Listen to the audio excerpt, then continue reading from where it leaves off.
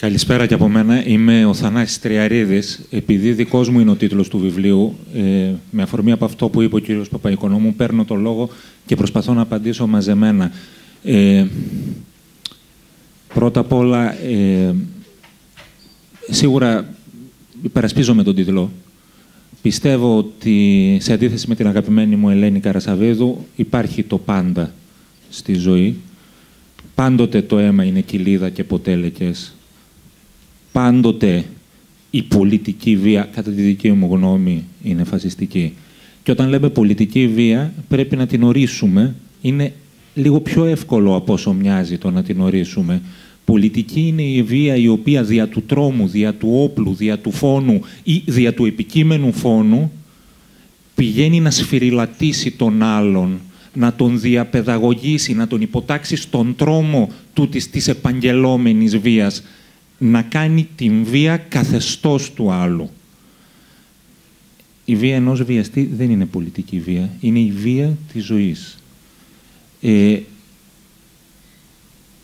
η βία ενός ληστή δεν είναι πολιτική βία, όσο και αν οι συνθήκες οι οποίες γεννούν το κίνητρο είναι πολιτικές. Η πράξη δεν είναι πολιτική. Ε, αυτά για τον ορισμό της βίας.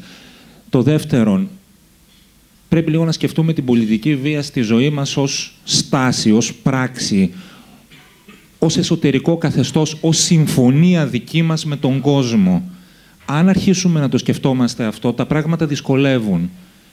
Όλοι χειροκροτήσαμε τον Ινδιάνα Τζόουνς όταν ο Νίντζα απέναντί του του έκανε κόλπα με το σπαθί και αυτός έβγαλε τον πιστόλι και τον επιροβόλησε. Από εκεί αρχίζει το πρόβλημα. Το είπε ο Μιχάλης, ε, ο Μαραγκάκης, είπε ότι παίζουμε τα παιχνίδια της βίας. Τα παιδιά πηγαίνουν στο καράτε, εκπαιδεύονται στο καράτε. Αν θέλουμε να μιλήσουμε για τη βία, πρέπει να φτάσουμε στη βαθύτερη υποδομή της ζωής μας. Γιατί είναι Άγιος ο Άγιος Κωνσταντίνος, γιατί ο Άγιος Θεοδόσιος, τι κάμαν ακριβώς αυτοί όλοι; Υπάρχει ένα υπέροχο τραγούδι του Μάνου Χατζηδάκη, ίσως είναι το ωραιότερο ελληνικό τραγούδι, αλλά εκεί κάποιος τραγουδάει λυπημένο μου ξεφτέρι, δεν αλλάζουν οι καιροί. Η στίχη είναι του Νίκου Γκάτσου, με φωτιά και με μαχαίρι πάντα ο κόσμος προχωρεί. Όχι, δεν προχωράει με φωτιά και με μαχαίρι πάντα ο κόσμος. Ο Γιώργο Παπα-Νικολάου δεν πήγε μπροστά τον κόσμο με φωτιά και με μαχαίρι, ούτε ο Μότσαρτ, ούτε ο Ντοστογεύσκη, ούτε ο Λεωνάρντο Νταβίντσι. Και αυτό εδώ, κατά τη δική μου γνώμη, είναι μια ωραία γοητευτική παπαριά είναι η γοητεία του φασισμού, της βίας. Παραπέρα, ε, πώς το λέει εκείνο το τραγούδι, ε, θέλει νεκροί χιλιάδες, λέει ο Ελίτης, και ο Θοδωράκης μελοποιεί, να είναι στους τροχούς, θέλει και οι ζωντανοί να δίνουν το αίμα τους. Όχι, για να γυρίσει ο ήλιος θέλει να αγαπάμε τους άλλους. Δεν θέλει νεκροί χιλιάδες να είναι στους τροχούς.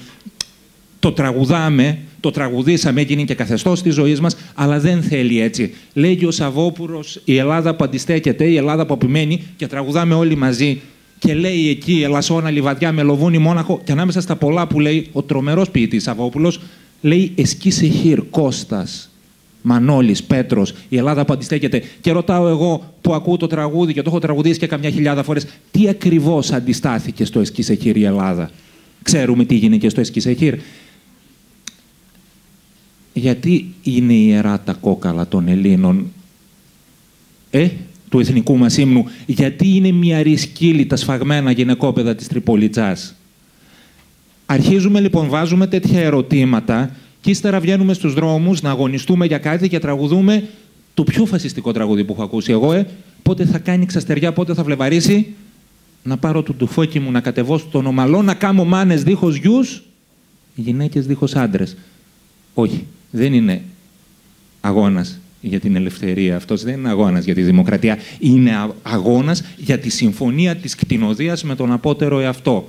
Ο Παναγούλης, ξέρετε, στο παιδικό μου δωμάτιο, όταν δραπέτευσε ο Παναγούλης από τη Βέρεια, έτσι, η πρώτη του κατηγορία για θάνατο ήταν η λιποταξία, υπηρετούσε στρατιώτης, κοιμήθηκε στο παιδικό μου δωμάτιο. Στο δωμάτιο που μετέπειτα θα γινόταν παιδικό μου δωμάτιο. Εγώ λοιπόν στο κείμενο αυτού του βιβλίου ε, μπορώ να το πω, ήταν φασιστική η πράξη του η πράξη να δολοφονήσει έναν άνθρωπο ήταν φασιστική. Πέραν του ότι θα ενίσχυε τη Χούντα ακόμη περισσότερο. Αν διαβάσετε το βιβλίο του Ντρουσιώτη, έτσι, ο Γεωργάτζης γι' αυτό ενίσχυσε την απόπειρα Παναγούλη.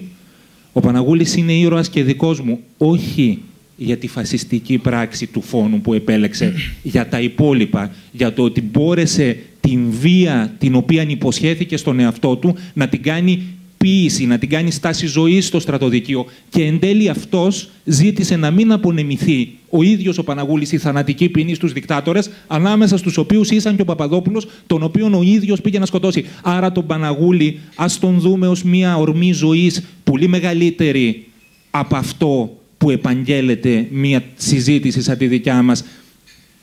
Με ρωτάνε πολύ και έτσι καταργείς τον Σπάρτακο με αυτό που λες. Ναι, τον καταργώ.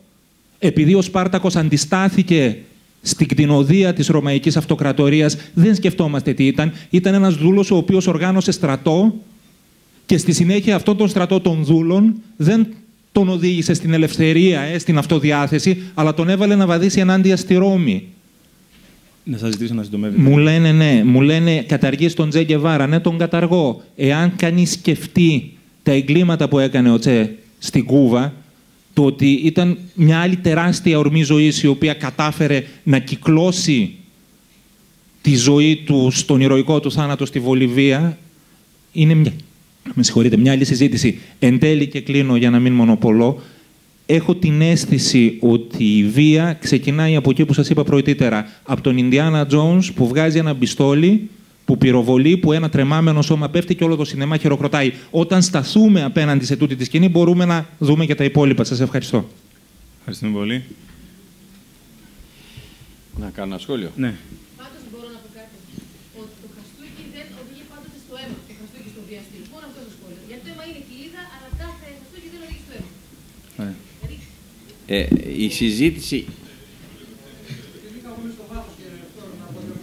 Ε, συγγνώμη, να μιλήσει ο κ. Πανούσης και... Ναι, δεν σας είδα, συγγνώμη, δεν, ε, δεν ξέρω αν ήσασταν κάποιο Συμφωνώ. Έτσι δεν είναι. Λοιπόν, χαιρετώ. Εγώ δεν θα πω ούτε θεωρίες ούτε τίποτα. Θέλω να πω πώς το βλέπω εγώ και πώς το νιώθω. Η βία ξεκινάει από το Mickey Mouse. Κατά τον κύριο Τριαρίδη ξεκινάει από το αυτό. Έτσι. Λοιπόν, ε, δεν είμαι κατά της βίας. Δεν, δεν μ' αρέσει ούτε να δέρνομαι, ούτε να τσακώνομαι, ούτε να σκοτώνω, ούτε τίποτα τέτοιο. Όμως, δεν μπορώ να επιτρέψω σε κανέναν να σκίσει πάνω μου βία και να κάτσω εγώ και να λέω εντάξει, γυρνάω και το άλλο μάγουλο τώρα. Ρίξε μεγάλε μέχρι να ξυπνήσουν οι διπλανοί από τις πολλές φαλιάρες που θα μου έχεις ρίξει, να τελειώνουμε. Κάτι άλλο που άκουσα είναι ότι οι πολλοί δεν κάνουν βία. Ακυρώνουμε την Γαλλική Επανάσταση, ακυρώνουμε την Οκτωβριανή Επανάσταση, Κακό σκοτώσανε τον το, το Λουδοβίκο, κρεμάσαν το κεφάλι. Κακό σκοτώσανε τον Τζάρο. Έτσι. Δεν έπρεπε να πεθάνουν όλοι αυτοί οι άνθρωποι, έπρεπε να συνεχίσουν, να, να αφήσουμε και τις περιουσίες τους. Έτσι, κατά τη γνώμη σου. Κατά τη δικιά μου γνώμη έπρεπε να έχουν πεθάνει πολύ πριν. Γιατί, Γιατί θα πέθανε ένας και θα ζούσαν κάτι δεκάδες εκατομμύρια που αυτοί σκοτώσανε εντωμεταξύ. Έτσι. Δηλαδή εδώ υπάρχει μια, μια λογική ισορροπία που χάνεται όταν χάνουμε το μέτρο. Ναι, είμαστε κατά της βίας. Έτσι, αλλά πρέπει να τηρήσουμε και ένα μέτρο. Δεν γίνεται να λέμε είμαστε κατά της βίας. Ο Γκάντι πέτυχε ό,τι πέτυχε, όχι γιατί ήταν κατά της βίας, αλλά κυρίως γιατί τον βοήθησαν οι καιροί. Είχε οριμάσει το πράγμα. Ήδη η Αγγλική Αυτοκρατορία δεν μπορούσε να κρατήσει άλλο τις απικίες. Εάν ο Γκάντι υπήρχε πριν από 100 χρόνια, πριν από 60 χρόνια, δεν υπήρχε περίπτωση να πετύχει τίποτα με το μη βίαιο κίνημα του. Τίποτα απολύτως. Ούτε καν θα μαθαίναμε ότι υπήρχε Γκάντι. Έτσι. Το πιο απλό λοιπόν πράγμα είναι το εξής. Ότι εγώ όταν βλέπω τον αστυνομικό, φωνάζω εγώ τώρα. Παπαντρέου μου έχεις πιει το αίμα.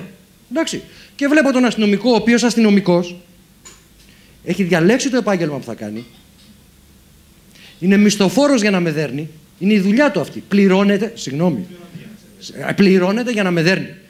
Άκου, άκου, άκου. σε παρακαλώ. Σε παρακαλώ. Ε, να τελειώσω και μετά να Ναι, για παρακαλώ, αφήστε να τελειώσει. Ναι.